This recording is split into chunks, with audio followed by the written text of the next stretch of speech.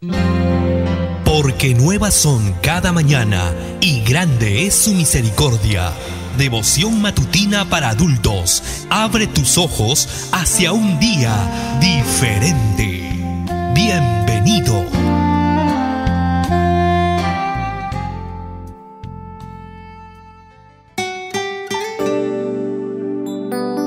Un precioso día para todos. Te saluda Mirari.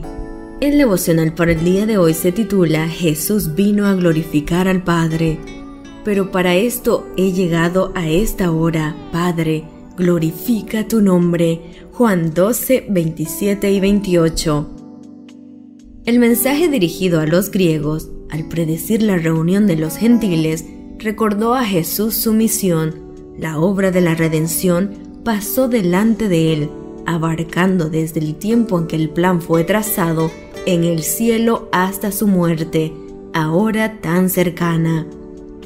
Una nube misteriosa apareció rodear al Hijo de Dios. Los que estaban cerca de él sintieron su melancolía, quedó absorto en sus pensamientos. Luego vino la sumisión divina a la voluntad de su Padre. Para esto, dijo, he llegado a esta hora. Padre, glorifica tu nombre. Únicamente por la muerte de Cristo podía ser derrocado el reino de Satanás. Únicamente así podía ser redimido el ser humano y Dios glorificado. Jesús consintió en la agonía, aceptó el sacrificio. El Rey del cielo consintió en sufrir como portador del pecado. Padre, glorifica tu nombre, dijo. Mientras Cristo decía estas palabras, vino una respuesta de la nube que se cernía sobre su cabeza. Lo he glorificado y lo glorificaré otra vez.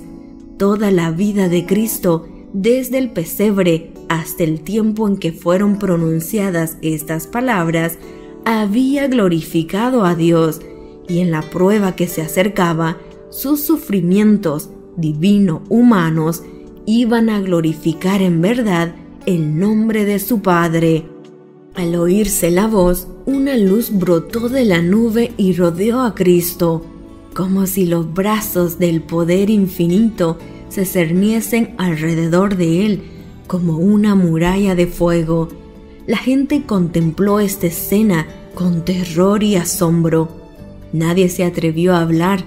Con labios silenciosos y aliento en suspenso, permanecieron todos con los ojos fijos en Jesús.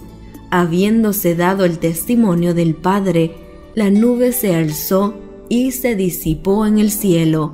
Por el momento terminó la comunión visible entre el Padre y el Hijo, y la multitud que estaba allí había oído la voz, decía que había sido trueno, otros decían un ángel le ha hablado.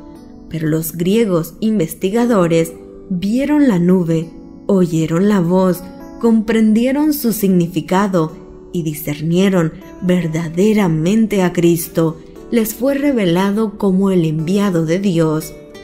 La voz de Dios había sido oída en ocasión del bautismo de Jesús al principio de su ministerio y nuevamente en ocasión de su transfiguración sobre el monte, ahora, al final de su ministerio, se escuchó por tercera vez por un número mayor de personas y en circunstancias peculiares. Y en nuestro segmento de saludos, saludos para Eleodoro Bernal, quien nos escucha por medio de la aplicación Devoción Matutina Adventista. Saludos para todos los hermanos de la iglesia Carmen Fonjapo en Tapachula, Chiapas, México. Feliz cumpleaños para Sandra Valdivia de la iglesia El Arenal Moyendo. El saludo de parte de su amado esposo Miguel Apaza, quien la ama mucho. Miguel también agradece por estos audios ya que los escucha diariamente con su hermano Carlos, quien es ciego, y escucha la palabra de Dios. Y a mí me alegra escuchar tan lindo testimonio y para ti, hermano Carlos, persevera en la fe, que muy pronto estaremos en la Canaán celestial. Y envío para cada uno de ustedes Fuertes abrazos tototes y lluvia de bendiciones.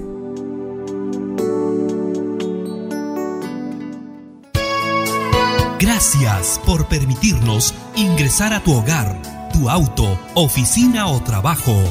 Devoción matutina para adultos. Volveremos pronto para seguir conociendo más bendiciones para tu vida. Esta fue una presentación de Canaan Seven Day Adventist Church y DR Ministries. Hasta la próxima.